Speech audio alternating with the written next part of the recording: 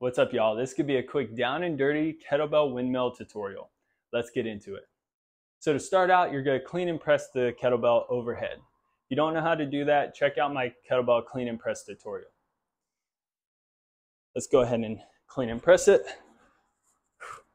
Once you're in this overhead position, you're gonna point your feet away from the kettlebell, like so. Next, you're gonna brace your core, look up at the kettlebell, place your hand on your thigh, and start to push your hips back slightly. As you come down, stay nice and tight.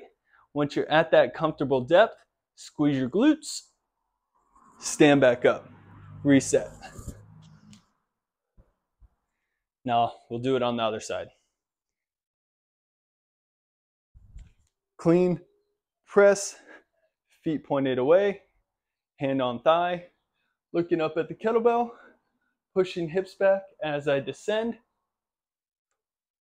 Once I'm at my depth, I squeeze my glutes, come back up, reset. All right, y'all, that's the kettlebell windmill tutorial. Happy kettlebelling.